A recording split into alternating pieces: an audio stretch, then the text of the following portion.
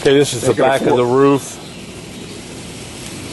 This valley here off this slate roof. I want to come back Four feet. about four feet over to the inside of this pipe collar and then with black smooth and then coat.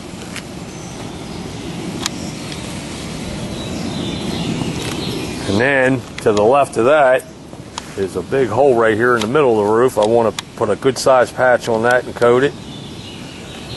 Then this back gutter from this middle hanger, third one over, I want to take the hangers loose, these last four. I want to raise this center one and I want everything diverted falling down this way. Because we're going to add an outlet here. And then we're going to put two B elbows and downspout down this corner, You're going to use what inches? three by four. And then we're going to go. Four inches enough? Yeah, I three by four. gutter, but a It's four inch three by four. That's what it goes with it. Oh. That size right there.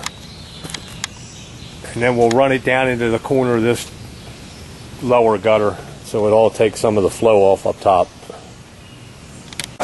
Okay, this is from underneath. This is where I want the two E, two B elbows and the downspout coming down this outside corner.